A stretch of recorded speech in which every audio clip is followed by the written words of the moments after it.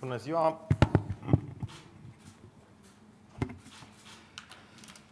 Am uh, câteva vești uh, foarte bune, una de-abia am primit-o acum 5 minute, dar încep cu cea din, cele din ședința de guvern.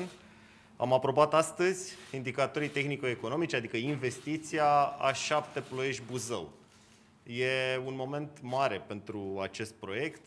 Uh, practic este asumarea că acest proiect se va face, aprobarea investiției de către Guvernul României.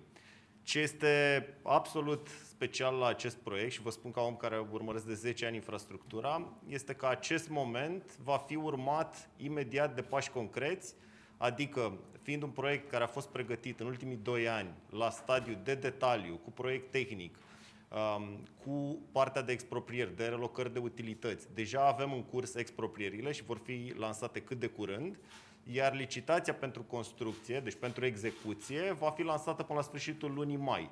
Practic, spre deosebire de alte proiecte, și nu știu, pot să iau aici exemplu autostrăzii de centura zero a Bucureștiului sau uh, drumul expres Craiova Pitești sau orice proiect pe la care vă gândiți de autostradă din România, unde între momentul în care investiția a fost aprobată în ședința de guvern, la cele două menționate mai devreme, momentul era în 2008, și în momentul în care avem efectiv utilaje în teren, poate treacă 6 ani, 12 ani, Aici lansăm licitația chiar luna aceasta, facem exproprierile chiar acum, nu vom mai avea toate acele situații neplăcute în care spunem că proiectul a fost făcut acum 10 ani și au apărut diferențe în teren uh, și nu avem exproprieri și stai că se mai amână dintr-un motiv sau altul. Nu, pur și simplu la semnarea contractului, care depinde de durata desfășurării licitației. Uh, după cum știți, să zicem, un caz optimist ar fi 4-6 luni, acum mai depinde și de partea de contestații, dar știu că sunt în lucru și la nivelul Guvernului și al Parlamentului uh, legislații care să facă mai favorabilă, mai rapidă uh, partea de contestații. În orice caz, de la semnarea contractului, uh, constructorul poate intra direct în teren. Nu urmează o pauză, uh, o, uh, un an de zile, doi ani de zile, până când efectiv vedem lucrări. Uh, e vorba de, de un proiect care are o lungime de 63 de kilometri. Uh, este un proiect pe care îl vrem finanța prin PNRR. Am fost la, am fost la Bruxelles recent și am discutat în mod particular despre acest proiect. Este uh, un proiect cu perdele forestiere. Uh, pe acest sector, între Ploiești și Buzău, avem aproape 60 de kilometri de perdele forestiere. Avem patru spații de servicii generoase cu suprafețe mari, cu infrastructură pentru vehicule electrice, Suprafața predelor forestiere este de 160 de hectare, deci nu e vorba de trei copaci și colo, ci de efectiv o pădure liniară.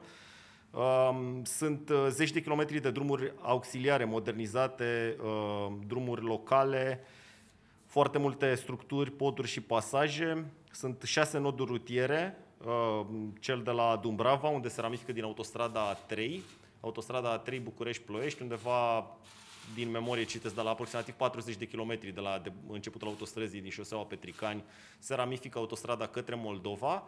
Uh, chiar uh, aici am avut o discuție și cu colegii. Știți că această autostradă este până la Moara Vlăsiei din București, este pe trei benzi. De fapt, intenția inițială în 2006-2007, când a fost demarat acest proiect, a fost să fie trei benzi până la punctul de ramificare spre Moldova, pentru că traficul va crește foarte mult în momentul în care va fi finalizată această autostradă. Practic, tot ce vine din Moldova Uh, va merge spre București pe această autostradă, plus tot ce vine de pe uh, Valea Prahovei, dinspre Brașov, dinspre uh, Ploiești, dinspre sud-estul Transilvaniei. Și atunci se adună totul pe o singură autostradă care merge către București și am vorbit cu colegii să demarăm de acum evaluarea de trafic pe care o vom avea peste 5 ani, ca să nu ne trezim în situația în care ne trezim tipic în România, că uh, constatăm la un anumit moment că proiectul nu mai e suficient și de-abia de atunci ne apucăm să facem ceva, știți, intersecții sufocate și așa mai departe. Deci să facem proiectul de acum, ca cei care vor fi după noi să aibă un proiect gata pregătit sau poate chiar să-l lăsăm în execuție, mă refer la adăugarea celei de-a treia benzi și pe sectorul Moara Vlăsiei Dumbrava, deci până la ramificații. Uh, următoarele sectoare, Buzău, Focșani, uh, Focșani, Bacău și Bacău-Pașcani din această autostradă, vor fi și ele, sunt, sunt într-un stadiu similar, e vorba de un decalaj de câteva luni. Uh, nu am exact calendarul în minte în momentul de față, dar este în jur de 3-4 luni între, între fiecare secțiune. Deci anul acesta, uh, cred că pe toate până la Pașcani, e vorba de 320 de km de autostradă, le putem scoate la licitație. Repet, e vorba de uh, de licitație de proiectare, uh, de execuție, îmi cer scuze. Fără partea de proiectare este făcută deja de companie, deci se poate intra deja în teren când semnăm contractul. E o sumă mare pentru întreg proiectul, vorba de câteva miliarde de euro pe care îi vrem finanțați din, din programul PNRR și pentru asta am argumentat și așa este, va fi transmis programul PNRR la Bruxelles. O, un alt uh, act normativ, de fapt nu, haideți să vă dau vestea, că nu, nu mai am nicio răbdare. Uh, am primit acum 20 de minute uh, o veste excelentă. S-a respins ultima contestație definitiv la Curtea de Apel pentru lotul 2 din autostrada de centura Bucureștiului, autostrada A0, în partea de nord. Lotul 2 este între DN1, deci zona Corbeanca, și uh, DN2, zona Colentina. Uh, acest sector de autostradă a fost câștigat de o firmă românească care lucrează foarte bine și pe alte proiecte din țară, spre exemplu pe drumul expres Craiova-Pitești. Fusese respinsă deja contestația la prima etapă la Consiliul Național de Soluționare a Contestațiilor, s-a respins și la Curtea de Apel, am primit această veste uh, chiar acum 20 de minute, ceea ce înseamnă că se poate semna acest contract. Deci uh, este al doilea lot de pe zona de nord a autostrăzii de centura Bucureștiului A0 care va avea contract semnat. Lotul 4 este semnat cu aceeași firmă în uh, zona între autostrada A2 și uh, uh DN3, în zona uh, lacului Cernica. Mai am câteva vești, să zicem că sunt, uh, astea erau cele mari, dar eu cred că sunt importante și, și cele pe care le voi menționa. Pe A0 Sud am avut o hotărâre de guvern care a trecut Uh, în ședința de guvern o să pară rizibilă uh, suprafața expropriată, 130 de metri pătrați, uh, dar câteodată acești, aceste suprafețe minuscule sunt extrem de importante. E vorba de suprafața pe care se va reloca un stâlp de înaltă tensiune care bloca lucrările acolo Uh, e vorba de o linie de înaltă tensiune de 400 kV. E, e o lucrare mare. Aici vreau să menționez colaborarea excelentă pe care am avut-o cu premierul pentru toate aceste proiecte de infrastructură. Pe cât de repede am putut să ne introducem în ședința de guvern, pe atât de repede le-am, uh, le-am, le-am avut acceptate, uh, câteodată pe lista suplimentară, ceea ce înseamnă că nu se pierde o săptămână sau două de lucru. După ce hotărârea de guvern trece prin guvern, sunt vreo 45 de zile până efectiv se poate lucra pe acel teren. Sunt niște formalități de făcut. Deci orice săptămână pierdută uh, înseamnă lucru în teren. Și ca o notă uh, la uh, partea de, de, de observații, genul acesta de situații în care după ce un proiect e început și constructorul este în teren și ne mai trebuie niște teren pentru un stâlp de înaltă tensiune, pe proiectul A7 de care am vorbit mai devreme, nu se vor mai întâmpla. Pentru că toate proiectele de relocare, relocare de utilități, absolut fiecare centimetru de teren, proiectul este făcut la detaliu, nu apar ulterior ca factori neprevăzuți. Uh, în, uh, a, încă o veste și asta era mare. Uh, autostrada 8 uh, începe proiectarea vineri pentru tronsonul Târgu Neamț Iași Ungheni. E vorba de cei aproximativ 100 de kilometri uh, care traversează de la est la vest uh, Moldova la latitudinea Iașiului. Este același tip de contract uh, bazat pe cum, am, cum l-am să licitația de execuție pentru A7. Numai că pentru A8, din păcate, n-am avut acest pas făcut din urmă. Astăzi am putut lansa o licitație de execuție de lucrări. E vorba de, proiect, uh, de uh, studiu de fezabilitate plus proiect tehnic, 24 de luni, exact cum a fost și la A7.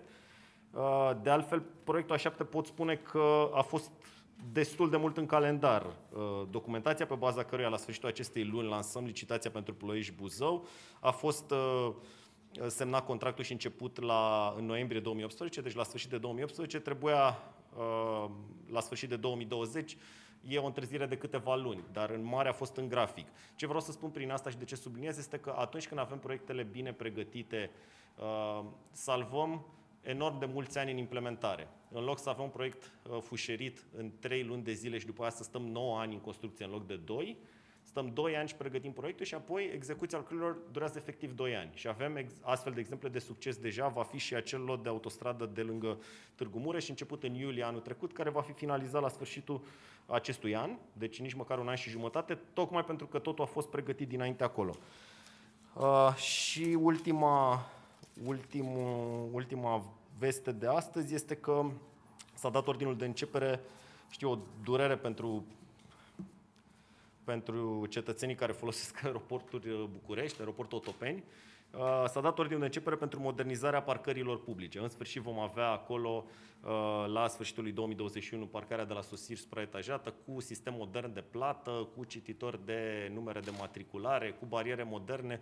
Scăpăm de acel sistem oribil cu FISA care uh, ne, ne blochează parcarea și așteaptă toată lumea la cozi. Dacă sunt întrebări.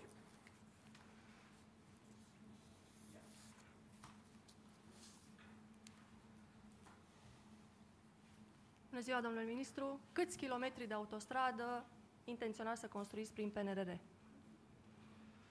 În PNRR am, uh, am inclus uh, în, ca, ca proiecte majore autostrada A7 despre care vă vorbeam. Sunt, uh, o să citesc dimensiunile din memorie. V-aș ruga dacă pot să vi-l dau efectiv ulterior după. E posibil Poate să... face și un calcul ca să Să fac tot exact. eu calculul? Păi sunt, putem să-l facem împreună. 320 de kilometri pe A7. Uh, e vorba de capetele autostrăzii A8, sectorul Târgu Mureș-Târgu Neamț. Cred că sunt 30 cu 20, în jur de 50 de kilometri, unul lângă Târgu Mureș și unul lângă Târgu Neamț. Uh, e vorba de autostrada A3 între, prelungi, de, în, între Cluj și Zalău, ca să nu dau niște nume de localități care nu spun, uh, nu spun așa de mult. Uh, și acolo, cred că sunt 70 de kilometri, dar v-am zis, mă, mă, mă face să fac un exercițiu din, din memorie. Și mai e vorba de Lugoș-Deva, uh, lotul, uh, acolo unde se fac acele tuneluri pentru urși, nu sunt pentru urși, sunt pentru mașini, doar uh, mamiferele pot migra pe deasupra nefiind afectat terenul. Uh, acea sec- singură secțiune lipsă pe autostrada între, între Sibiu și Nădlac, acolo sunt 9 km, dar este o lucrare amplă, scumpă, sunt două, două tuneluri în lungime combinată de aproximativ 2 km. Deci acestea sunt proiectele uh, majore pe care le-am, uh, le-am solicitat pentru finanțare din PNRR. Deci, și bineînțeles, în funcție de evoluția în anii următori, știm că toate aceste programe de finanțare au, uh, în fine, se mai ajustează pe parcursul lor în funcție de realitate, se pot adăuga și, și alte proiecte. Deci până în 500 de kilometri de autostradă, construiți până în anul 2026. Cum reușește România în acest mandat să construiască 500 de kilometri de autostradă în condițiile în care nu stă bine la acest capitol? Uh, pe care l-ați descris și dumneavoastră, vorbeați despre contestații, exproprieri, judecată și celelalte. Pot să spun că stăm mai bine ca niciodată și asta o spun cifrele, nu eu. Adică avem un uh, record pe partea de investiții pe, uh, pe, primele, pe primele patru luni ale anului. Suntem undeva creștere de, dacă nu 14% față de anul trecut și ca să aveți un termen de comparație față de un an anterior, 2019 sau 2018, este mult mai mult decât dublul uh, a sumei care fusese atunci consumată pe, uh, pe primele patru luni. Pe întregul an sperăm să avem recordul absolut de investiții în autostrăzi și căi ferate de după Revoluție, așa am bugetat. Uh, proiectele merg bine și suntem în grafic deocamdată. Avem un stoc semnificativ de proiecte și, așa cum am mai explicat, în această conductă de proiecte pipeline din engleză, e important și ce s-a pus înaintea ta și ce pui tu mai departe. Deci eu sper că în următorii ani, că nu trebuie să ne gândim doar la anul actual, și pe 2022-2023, până chiar și la 2026, cum vorbeam și de exemplu uh, celei de-a treia benzi pe, pe A3, uh, o să avem un, un stoc semnificativ de proiecte mature, proiecte care se implementează. Acum, uh, dacă vreți, e important și ca industria să țină pasul, pentru că contractorii care lucrează și cresc capacități în fiecare an investesc în utilaje și, și din această perspectivă această finanțare din PNR este extraordinară pentru că vine să completeze ce puteam lua deja din fonduri europene, uh, de pe programele normale, de pe programele operaționale.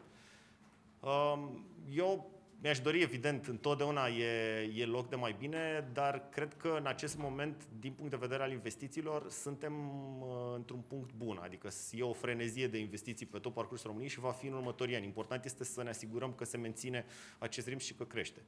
Astăzi s-au demarat lucrările pe DN1 în zona Azuga. Da, care este motivul po- pentru care pornim aceste lucrări în momente aglomerate, să spun așa, începe vara? Nu le pornim în momente aglomerate. E un pod din anii 30, care n-a mai fost uh, reparat de, cred că, peste 20 de ani și care are un grad de pericol. Nu ne putem permite pe o infrastructură critică națională să ținem un pod în grad de pericol. Magie nu există, deci trebuie să lucreze efectiv cineva la el. E o licitație uh, pornită din anii trecuți, s-a ajuns la un contract semnat Acum trebuie să se execute acele lucrări. Uh, nu va fi restricționat uh, traficul uh, ușor, doar cel peste 7,5 tone, din păcate, pe durata desfășurării lucrărilor, uh, va trebui să meargă pe ruta ocolitoare pe DN1A. Uh, ce să vă spun? E, sunt lucrări necesare, ar fi bine să le facem la timpul lor. Asta era uh, e, e un pic trecut timpul când trebuia făcut acest pod. Spuneați că este o nevoie urgentă de dezvoltare a infrastructurii. Ce alte fonduri accesăm în acest moment pentru dezvoltarea uh, uh, infrastructurii, în afară de PNRR pe care lucrăm? Uh, mai avem Connecting Europe Facility, care este un program tot al Comisiei Europene, mai ales pe partea de uh, cale ferată între Brașov și Sighișoara. Se fac, se, sunt niște proiecte majore, tot așa de miliarde de euro, cu un tunel de 7 km care va fi săpat cu tunnel boring machine. Uh, și, în fine, mai sunt, uh, mai sunt și proiecte um, sau uh, programe mai mici uh, din, din fonduri europene și ne gândim, evident, pentru anii următori, dacă va fi nevoie să suplimentăm, inclusiv cu noi contracte cu instituțiile financiare internaționale. Deocamdată ne-am asigurat, ne-am luptat foarte mult în aceste luni pentru finanțarea din PNRR, din planul de, de reziliență și să avem proiectele care să, să tragă acești bani.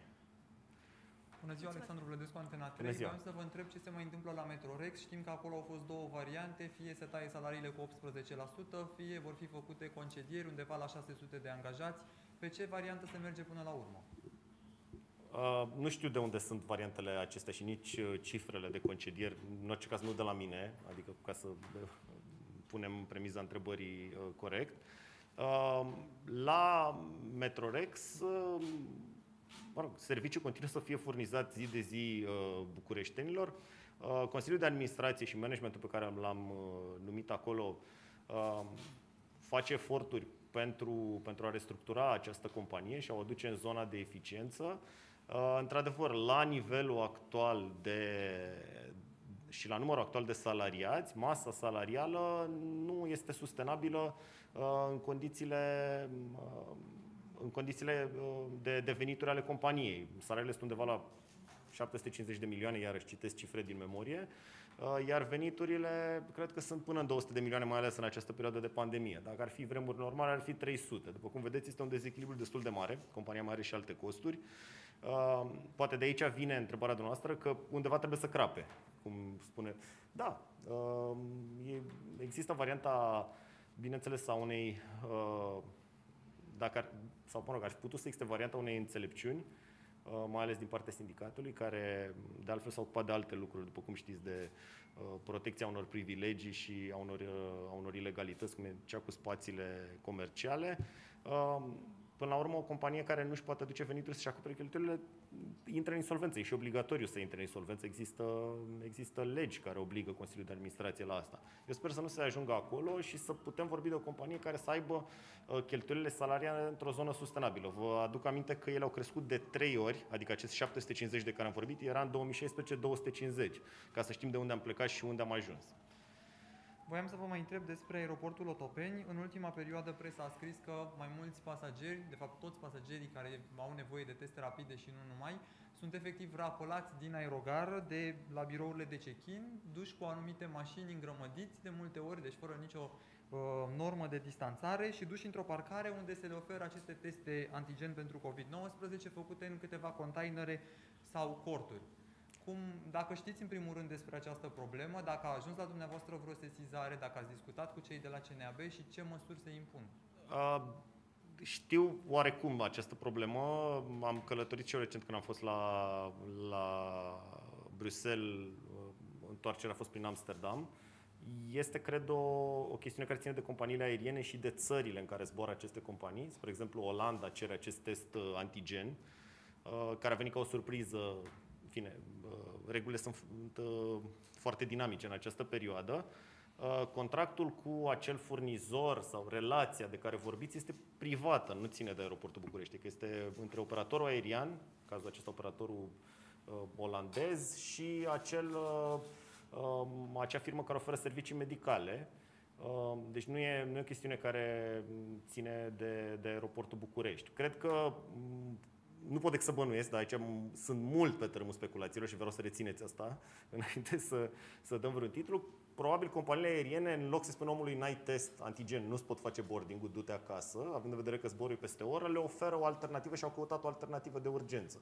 Din câte știu, acel centru uh, există de mult timp acolo, de, de anul trecut, deci nu este ceva care s-a creat ca o oportunitate speculativă în acest Dar moment. e normal să se certe angajații unor clinici medicale pe pasageri în aeroport, despre asta vorbim. Să-i Pentru că sunt două clinici medicale, una care este în aeroport, una peste drum de aeroport. Efectiv, angajații lor se ceartă pe pasagerii din aeroport. Da, Asta nu știu situația, deci nu pot să comentez, o- o- o- sunt pe tărâmul speculațiilor aici. Bună ziua, Francesca Simenescu, observator Antena 1. În ce stadiu este drumul expres Craiova-Pitești și când se va putea circula pe ruta ocolitoare Balș-Slatina? Uh, merge foarte bine. Uh, am fost acum trei săptămâni și câteva zile acolo. Lucrurile au continuat să progreseze. Suntem on target, uh, suntem uh, în, uh, în- în ce ne-am propus, adică la sfârșitul acestui an Balș-Slatina, acest uh, tronson 2, Tronson 2, lot 1 și lot 2, așa e tehnic, deci cei 40 de km să fie deschiși traficului. Deci, practic, la sfârșitul acestui an, fie că venim dinspre Craiova, nu mai intrăm în Balș, nu mai trecem prin Slatina, ne urcăm pe acest drum expres, care e aproape ca o autostradă, platformă de 22 de metri în loc de 26 și coborâm după Slatina. Uh, A început să lucreze și la lotul 3, care în continuare am dat uh, acolo autorizațiile foarte recent, acum o lună, două. Uh, Deja se lucrează bine, s-a lucrat la uh, fundațiile structurilor cu, cu foreze pe tot terenul, decopertarea este făcută. La lotul 4, cel ultimul de- care este înspre Pitești, uh, iarăși contestațiile. Dacă uh, răspunsul... Uh, și acolo avem primul răspuns de la CNSC, care a respins contestațiile. Uh, cred că compania chiar vrea să semneze contractul. Uh, pe, se poate semna și după prima decizie, uh, cu oarecare risc, și asta e un lucru pe care poate îl corectăm prin legislație, că dacă Curtea de Apel, care e ultima instanță, se pronunță invers, va trebui să desfaci contractul, adică te poate băga un pic în, în belele. Dar uh, acolo mai urmează decizia finală a Curții de Apel. Dacă este ca cea pe care v-am anunțat-o mai devreme, atunci avem tot, uh, uh, tot lotul contractat. Uh, Lotul 1, Uh, mai avem o bucățică mică unde s-au făcut exproprierile acum câteva săptămâni și v-am zis, după hotărârea de guvern durează 30-40 de zile până se poate intra în teren. În rest, pe ceilalți 14 din 17 km ai lotului se lucrează, va fi gata la sfârșitul anului viitor. Și la fel și uh, lotul de fapt, aici e o informație pe care trebuie să o verific. Cred că și lotul 3, uh, cel despre care vă vorbeam, ar putea fi gata la sfârșitul anului viitor. Lotul 2, cel care e cel mai important, pentru că e bypass la cele două localități cu trafic uh, oribil în fiecare, în fiecare weekend sau perioadă aglomerată, gata anul acesta. Bună ziua, Andreea Dumitrescu, Digi24. Vă aminteați mai devreme despre vizita de la Bruxelles și aș vrea să vă întreb dacă în urma discuțiilor uh, veți merge la Bruxelles cu PNRR cu 4,5 miliarde de euro, dacă mi-aduc bine aminte, pentru autostrăzi și 4,5 miliarde de euro pentru feroviar și metrou. Rămân aceste sume? Uh, sunt încă discuții, fine-tuning, o, o, mici ajustări care se mai fac uh, la program, undeva în zona de 8, uh, 8 miliarde și ceva, nu am exact suma acum, 8, 8 miliarde și jumătate este suma alocată transporturilor. Uh, Noi am ținut foarte mult și am explicat la Bruxelles că este parte inclusiv din recomandările de țară, care pentru comisie sunt foarte importante, să completăm această rețea de bază. Um, și um, am, m-am întâlnit cu, cu trei comisari, m-am întâlnit cu directorul din, uh, din, care se ocupă de program în uh, Recover. Uh, cred că am reușit să conving, inclusiv cu uh, proiectele pe partea de cale ferată, inclusiv acel uh, proiect sau alocare la care eu țin foarte mult, cea de un miliard de euro care să meargă în renoirea căii ferate actuale, care uh, până în 2026 să putem să o aducem la un standard decent. Deci cumva ați reușit să treceți peste acele semne de întrebare ridicate de Comisia Europeană vis-a-vis de mm, suma mare de bani alocată autostrăzilor în programul nostru de redresare- redresare și reziliență? Vă dați seama, programul nu este depus încă. Aceste consultări și discuții sunt, au un caracter încă, ca să spun așa, informal. Deci ar fi uh, incorrect în acest moment din partea mea să spun gata, e totul rezolvat, uh, e... dar semnele s- sau semnalele sunt, uh, uh, sunt bune și sper ca după depunere să avem o veste foarte bună pentru infrastructura din România. Pentru România, că infrastructura uh, determină multe. Bună ziua, Luiza Gireadă de la TVR. Aș vrea să-mi uh, confirmați sau infirmați o uh, declarație făcută de reprezentanții sindicatelor de la Metrorex, care spun că nu vor mai fi suficienți mecanici de tren care să conducă trenurile de la Metrorex pentru că mulți s-au pensionat sau vor să se pensioneze. Nu pot să vă confirm și nici să vă infirm în acest moment această informație. Ce pot să vă spun este că uh, în, acea, în prezi, preziua sau zilele dinainte acelei uh, blocări legale a metroului au mai vânturat astfel de informații. Uh, de altfel, e tactica cunoscută a dumnealor să încerce să inducă disfuncționalități în, func- în funcționarea metroului pentru, pentru a pune presiune și a-și obține interesele care sunt ilegitime, cum este cel cu spațiile comerciale care erau ilegale. Uh, pot să vă spun că foarte mulți mecanici de, din ce am înțeles și am vorbit cu cei din uh, cu reprezentații sindicatelor din feroviar, de data asta foarte mulți mecanici uh, se bat, ca să zic așa, pe locurile de disponibile la Metrorex, pentru că sunt salariile mai mari și față de... Și aici iarăși e un factor de, de dezechilibru. Aceste salarii obținute uh, prin șantaje succesive la miniștri duc și la, la astfel de dezechilibre. Adică foarte mulți din zona feroviară, unde e și munca mai grea, aș vrea să uh, migreze către Metrorex. Deci nu pot să vă confirm sau să vă infirm ca atare informația în momentul de față. Eu nu am auzit că ar fi o problemă iminentă. Și la precedentele declarații legate de acest subiect al Metrorexului vorbeați de o scumpire a cartelelor de metrou? Nu, eu am spus uh, și poate că, uh, în fine, uh, când îți încep ca un politic uh, propozițiile cu poate se transformă în uh, certitudine. Am spus că asta este o variantă care poate fi luată în considerare. E vorba, ar fi vorba de o ajustare de tarif uh, în zona decentă, pentru că nu a mai fost mărită, dacă nu mă înșel, din 2016 sau 2015. În zona inflației putem discuta. Uh, dar, pe de altă parte, ce am mai afirmat, iarăși o reiterare a unor afirmații anterioare, mm, întâi aș vrea să revenim la normalitate, să avem călători și apoi să discutăm despre zona tarifară. Asta e valabil pentru toate modurile de transport. Um, ceea ce am spus este că nu sunt bătute în cuie aceste tarife. Pe de altă parte, în București trebuie să avem grijă pentru că ele merg împreună și cu tarifele de la STB.